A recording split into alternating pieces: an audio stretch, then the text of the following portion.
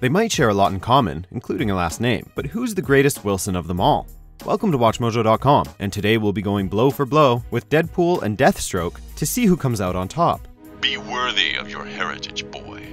Before we begin, we publish new content every day, so be sure to subscribe to our channel and ring the bell to get notified about our latest videos.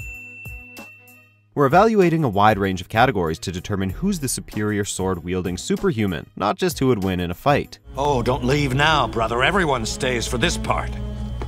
What part is that, brother? Round 1 Powers and Abilities.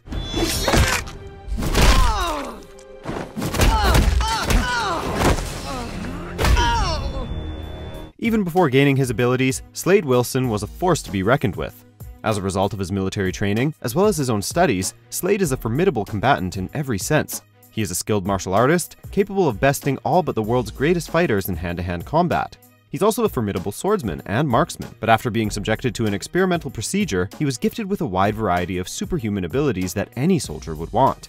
He's got reflexes far superior to any mere mortal, and the speed, strength, agility, stamina, and senses to match. To top it all off, he's got enhanced immunity, durability, and regenerative abilities. We'll take a closer look at the reasons why shortly, but Deadpool actually has almost all the same abilities and powers as Deathstroke. In addition to being handy with a sword and all manner of firepower, he's also a skilled hand-to-hand -hand combatant, albeit perhaps a less consistent one than Deathstroke. Like his pal who wants nothing to do with him, Wolverine, Deadpool has a handy healing factor, which gets a lot of mileage given his reckless ways. He's been repeatedly decapitated, dismembered, and subjected to all manner of bodily harm, and he just keeps on going. We're starting off with a category in which our two characters are almost neck and neck, but in the end, with the possible exception of strength, it would seem that Deadpool has acquired significantly higher upgrades across the board in terms of superhuman abilities. Most importantly, Deadpool's healing factor is off the charts, and so we've got to give him round 1. Winner, Deadpool. Round 2, Origin. As we've previously mentioned, Slade Wilson's background is in the military. Having joined at the tender age of 16, he quickly distinguished himself with his willpower and skills. Depending on the continuity, he was either selected for a special program or submitted to it after being gravely wounded, but either way, he became a metahuman super soldier. Deathstroke the Terminator was born. He eventually turned his attention to the world of crime, becoming a mercenary and assassin for hire. Though lucrative, it ultimately cost him his marriage and an eye after it put his family in danger. For the film, Deadpool's origin was streamlined. He's a mercenary cancer patient who underwent experimentation to cure himself, but in the comics, no one, including Deadpool himself, seems to be sure of his background. He gained his mutant abilities courtesy of Weapon X, but everything before that seems to be in a constant state of flux. And honestly, his in-story origin is much less interesting than the history of his creation. Invented by divisive comic book artist Rob Liefeld, he was labeled a blatant Deathstroke ripoff from day one. After seeing the design, writer Fabian Nicieza just went with it, naming Deadpool Wade Wilson in an overt nod to his aesthetic inspiration, Slade Wilson. Though writers have since made Deadpool into a truly unique character, his lack of consistent in-book origin and admittedly hilarious creation story makes it impossible to not give this round to Deathstroke. Deathstroke's origin might not be one for the ages, but at least it's his own. Winner, Deathstroke. Round 3, Style. Whatever you're planning, Slade, it's over. On the contrary, Robin, it's just begun. Quite frankly, in the world of comics, grim and gritty has been done to death. For decades, the mentality seemed to be that the less often characters smiled, the cooler and more appealing they were supposed to be. The result is a whole slew of forgettable B, C, and D-list characters who are given a permanent scowl in place of a personality. But here's the thing, there are a handful of characters from across the decades who are written well enough to be able to pull it off, and Slade is one of them. Deathstroke is a bona fide badass, a mercenary who inspires equal parts fear and respect. He's serious, but has depth.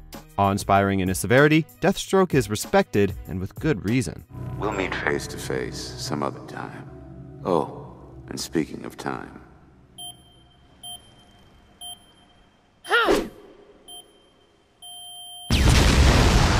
On the complete opposite end of the spectrum is our beloved Merc with a Mouth, a comic book character who, despite humble, uninspired origins, has made a name for himself by undermining pretty much every comic book trope. He's an undeniable badass when it comes time to throw down, but he does it with a sense of self-deprecation and humor that you really can't help but love.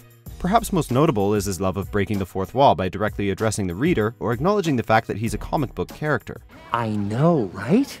Whose balls did I have to fondle to get my very own movie? Up against 99% of characters, Deathstroke would be taking home the style title without question. The guy eats cool points for breakfast and bleeds badassery.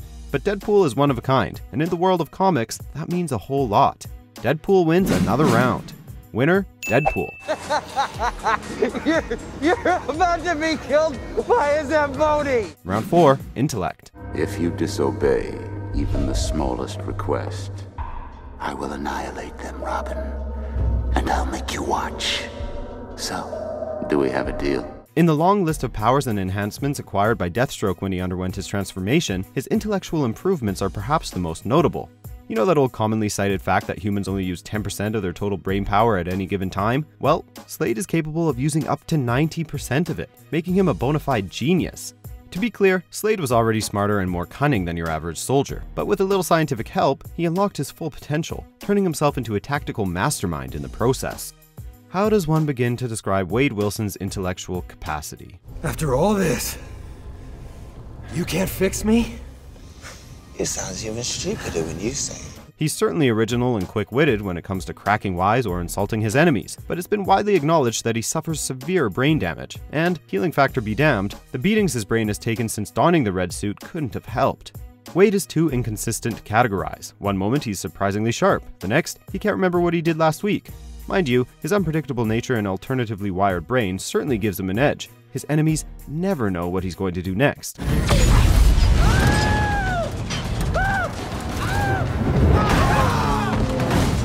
Though you'd never call Wade dumb, you'd also be remiss to call him particularly smart in any conventional sense of the word. And so, in this case, Deathstroke the Mathlete takes the point. Winner, Deathstroke. Betrayal, destruction, revenge. We really do think alike. Round 5 Live Action Adaptations. Slade certainly made for an impressive and capable adversary when he came after Robin and Company as a central villain in the animated Teen Titans series. Though that set the bar pretty high, actor Manu Bennett and the production team behind the CW's Arrow TV series proved that a live action Deathstroke could equally deliver the goods. What I have done is what you lack the courage to do. Bennett's take on Slade Wilson is everything we could have asked for on a television budget. He had the mask, the combat skills, the physical strength, determination, and intelligence to push Oliver Queen to his limits. On top of that, we got a glimpse of Joe Manganiello's Deathstroke in a Justice League post-credits scene, so the future looks bright for the character on the big screen. We have to level the playing field, Mr. Wilson. Wait, is that you? After the much criticized, mutilated version of Wade Wilson we were given in X Men Origins, Wolverine, and a long stint in development hell, Fox finally made good on their promise of a Deadpool solo outing in 2016. It was a tall order, but Deadpool not only made up for mistakes of the past, but also proved that there was room in the world of comic book movies for an R rated flick. He killed it at the box office, and going against the grain of big studio mentality, did it while staying close to the source material. The fans have spoken, and they've done so with unmitigated glee. Ryan Reynolds is Deadpool. Unfortunately, there's just no way for the Arrowverse version of Deathstroke to compete with Ryan Reynolds' big screen take on the Merc with a mouth. Joe Manganiello's version we saw briefly at the tail of Justice League could certainly turn out to be incredible, but for now, Deadpool takes it. Winner, Deadpool.